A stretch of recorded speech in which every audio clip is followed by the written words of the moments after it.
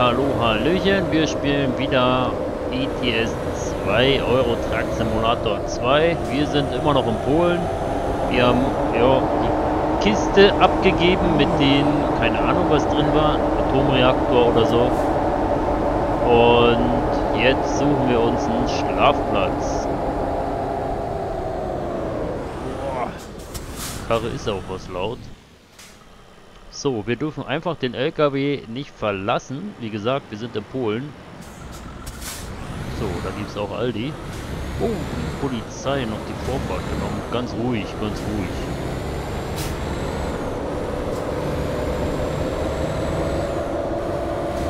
So, ihr habt auch mal. Wow. Ist da, wo wir hinfahren? Das da? Das ist noch schön hier. Teil laut oder ist es laut? Es ist einfach laut. Okay, wir setzen uns rein. Vielleicht ist es da ein bisschen leiser.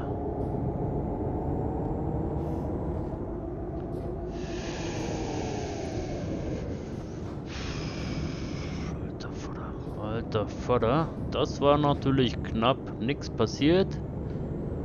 Äh, vielleicht sollten wir doch ein bisschen langsamer fahren. Ja, zurzeit ist mein Fahrstil doch ein bisschen rabiater geworden, muss ich sagen. Vielleicht muss ich mich da wieder ein bisschen beruhigen. Da ist schon wieder Polizei. Also Polizei haben sie hier. Hier arbeitet ja jeder bei der Polizei. Das ist ja Wahnsinn. Okay, das sieht hier auch nicht schlecht aus. Ich glaube, wir waren noch gar nicht im Pool.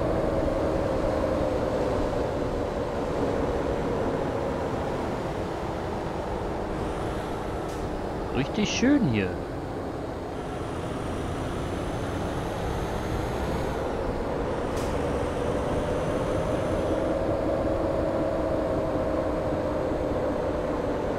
Polen ist ja gar nicht mehr so schlimm, wie man gedacht hat. Da ist noch ein Volvo-Händler. Warte mal, den müssen wir gerade freischalten. Da müssen wir gerade mal eine Runde drauf drehen. Wahrscheinlich kann ich da auch schlafen. Ich nämlich da auch gleich schlafen. Ist nicht, damit ich jetzt einen Volvo kaufen will. Das ist nur, um den Händler hier freizuschalten, wenn wir schon da sind. Nein, kann ich nicht schlafen.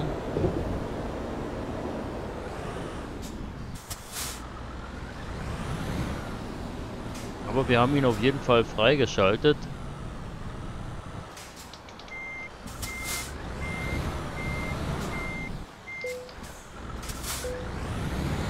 Ja, ich werde müde, ich weiß. Ich bin gleich da, wo ich hin will.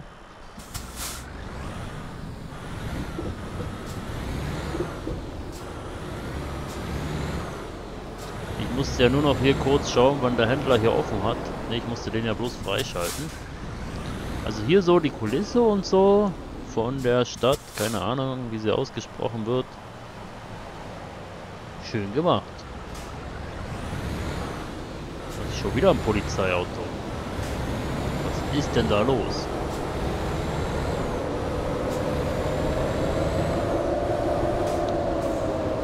Ich sag's noch und dann bin ich nachher noch zu schnell. Kriege ich noch einen Strafzettel gleich mal. So, auf welche Seite muss ich denn schlafen? Links oder rechts? Ich glaube links.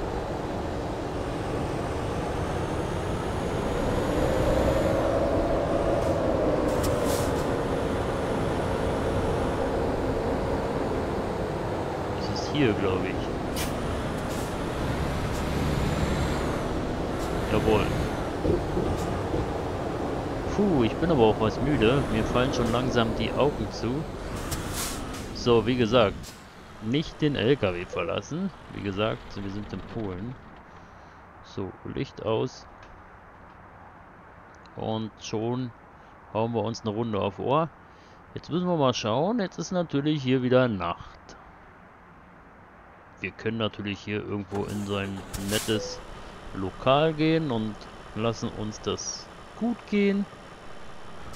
Oh, jetzt gehen auch alle anderen Lichter an, wenn ich Lichter mache. Warte mal, ich mach's mal wieder aus. Gehen die denn noch aus? Ne. Okay, hätte ja sein können.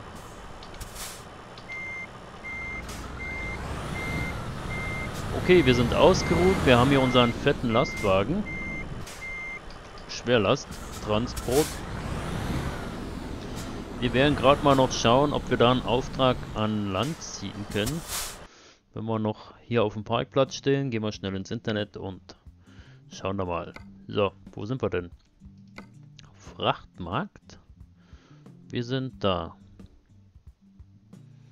Wrogler, Wrogler, keine Ahnung. Wow, ein fettes Rohr, Teil für Gas Pipeline. Pipeline.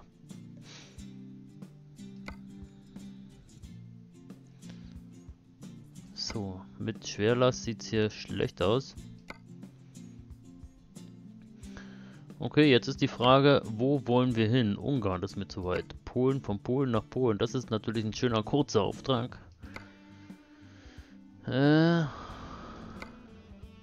Puh. Uiuiuiui. Da gibt's aber 125.000 dafür. Wie viele Meilen sind denn das? Und wann muss ich da sein? Und warum so viel? Das ist ja Wahnsinn.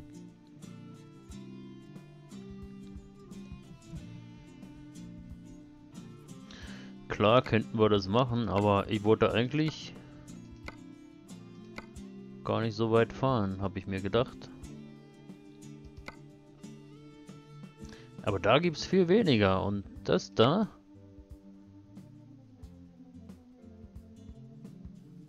Was ist da drin für Zeugs?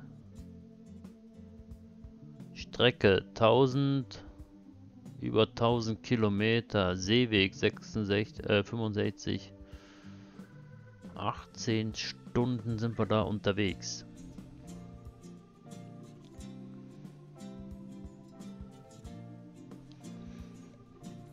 Aber das ist natürlich richtig, richtig weit.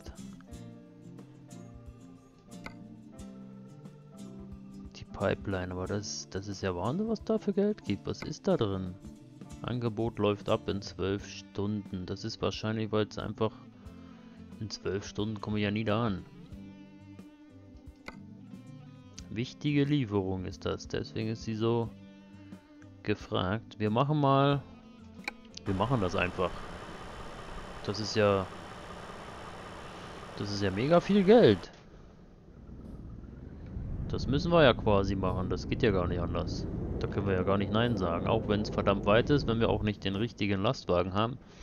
Wir könnten den natürlich gerade hier tauschen. Äh, und uns einen neuen holen. Also ja, Geld hätten wir schon.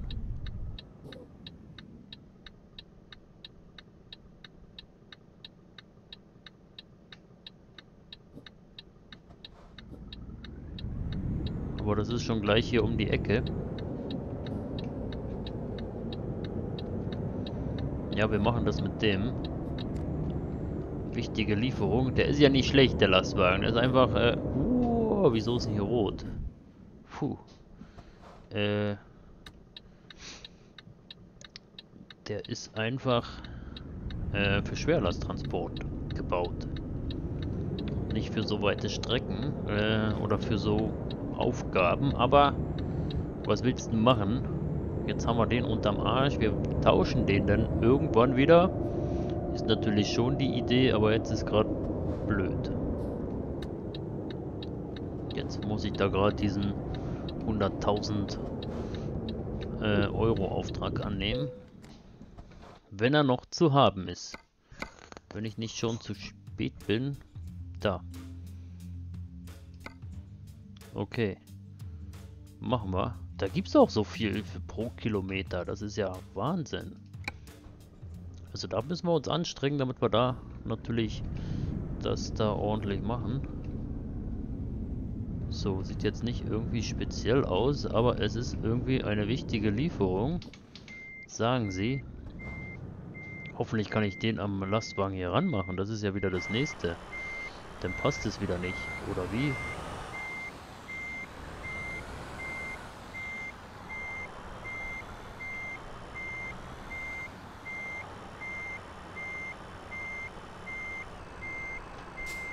So, Entweder bin ich da weit vorbeigefahren, was wahrscheinlich so aussieht.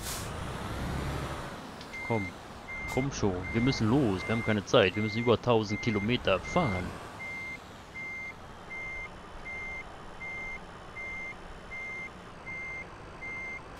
Wieso geht denn das wieder nicht?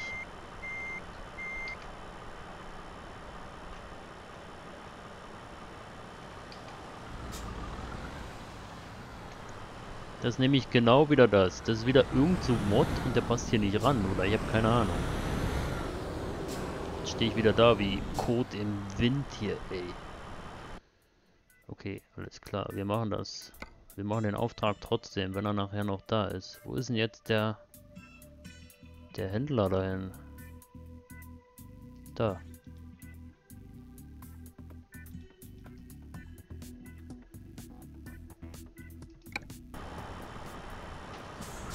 Okay, Planänderung.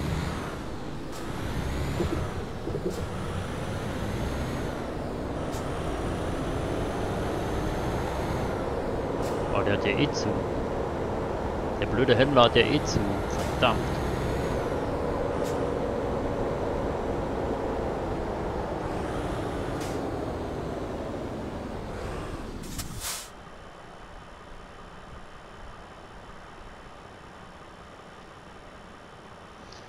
Der ganze Plan geht nicht auf, weil ich wieder den falschen LKW unterm Arsch habe. Ich krieg den Trailer da nicht ran. So sind wir von da gekommen.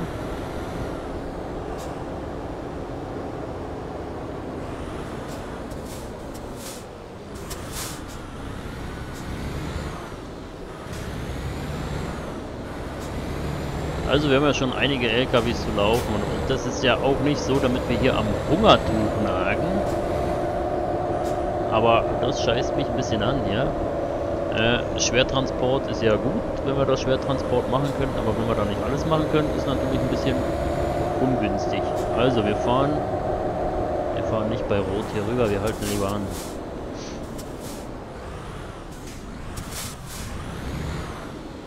So, da ist natürlich wieder keiner hier beim Volvo-Dingens. Die haben natürlich Öffnungszeiten. Aber vielleicht ist es ja in Polen anders.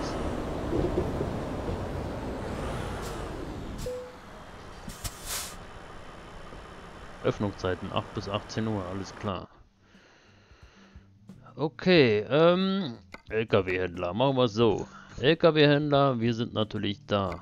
Äh, online kaufen. Wir kaufen uns einfach einen LKW, damit wir die, den Auftrag annehmen können. Der LKW wird natürlich äh, teurer sein äh, wie der Auftrag.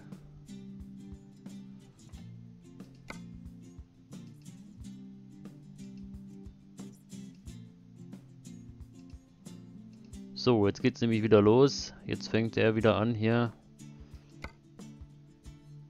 600 PS, das ist gut. Farbe muss ich noch eine andere haben. Äh, Farbe. Nee. Nee. Was denn das denn? okay. Was habe ich da bloß wieder alles runtergeladen für Mods, ja?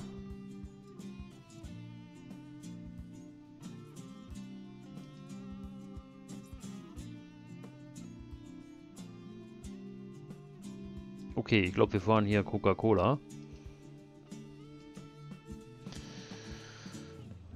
Gut, gut, gut, gut, gut. Da geht die ganze Zeit wieder drauf und der Auftrag geht uns hier flöten. So, was mit den Felgen eigentlich? Nee, nee, wir lassen das so. Wir fahren jetzt los. Äh, bestätigen. Oh, jetzt muss ich den natürlich noch irgendwo einsetzen.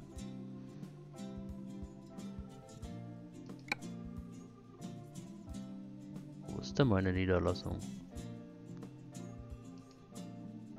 Ich habe schon einen in Polen, alles klar. Wir haben schon, wir haben schon Volvo da.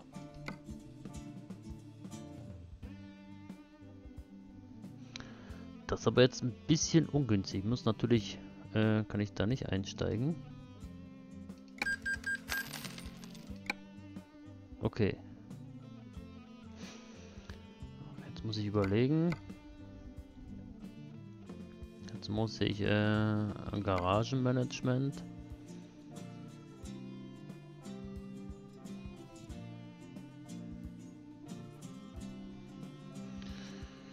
LKW-Management. So, genau. Wo ist denn jetzt das Teil? Da wird er sein. 600 PS. 0 Kilometer. Einsteigen. Jawohl.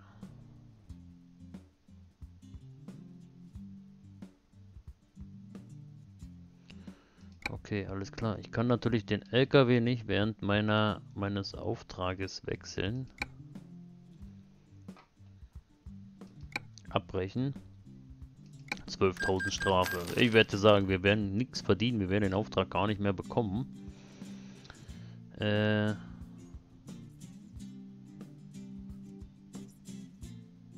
So, jetzt weiß ich nicht mehr, wo ich hin muss. LKW-Händler ist falsch. Wir müssen Garagenmanagement. Nein, LKW-Management. So, da möchte ich einsteigen. Jawohl.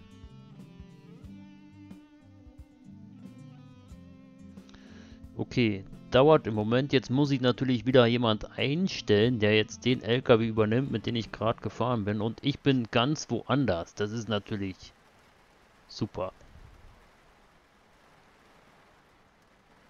Das ist genau das, was ich eigentlich nicht wollte. Mist. Mist. Jetzt habe ich einen LKW gekauft für den Auftrag. Der Auftrag ist... Frachtmarkt. Wo bin ich denn eigentlich? Jetzt bin ich wieder in München, oder was?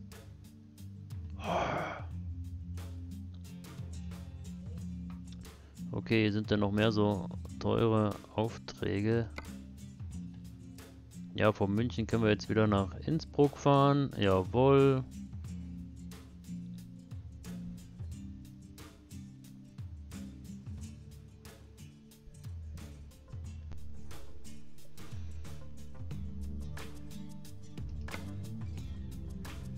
Na, boah, Autos. Wir machen das mal anders.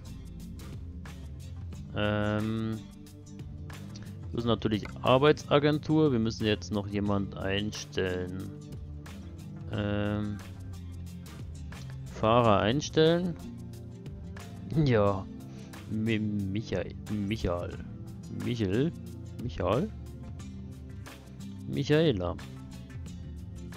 Astrid, Hallöchen. Die kann hier einen Haufen Zeug schon. Die stellen wir ein. Warte mal, kann die eigentlich Schwerlastzeugs fahren? Nö.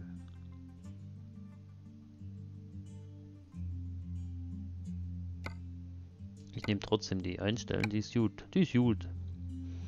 Okay, jetzt muss man schauen. Da bin ich. Wo ist jetzt eigentlich der andere LKW? Der Schwerlaster? Da ist er nicht. Der wird natürlich in Polen stehen. Ganz allein und verlassen. Da ist nämlich keiner drauf. Okay, alles klar. Ähm, ich sollte den LKW eigentlich in München deponieren, von, weil von da aus natürlich immer die Schwertransporte unterwegs sind. Und eigentlich wollte ich noch eine Runde fahren und ich komme gar nicht dazu. Wie sieht es denn aus? In München ist natürlich alles voll.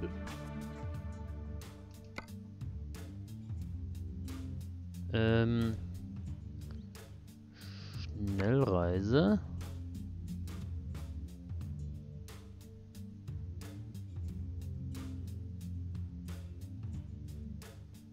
Ne, ich möchte, ne, ich möchte eigentlich nach Polen. Wie heißt denn das da?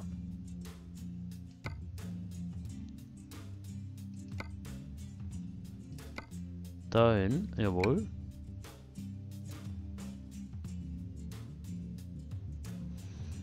So, jetzt bin ich wieder mit dem neuen LKW in Polen. Super. Auf jeden Fall sieht das so aus. Ein schöner Volvo. Muss ich sagen. Super lackiert. Ist natürlich wieder abends hier. Kann man das natürlich wieder alles nicht so schön erkennen. Münchner Kennzeichen hier dran. Okay, wir werden das nächste Mal einen Auftrag annehmen. Ich komme heute nicht mehr dazu. Jetzt haben wir halt noch einen LKW mehr. Wir halt noch mehr Geld verdienen hier. Ich bedanke mich fürs Zuschauen. Macht's gut. Bis denn dann. Ciao, ciao.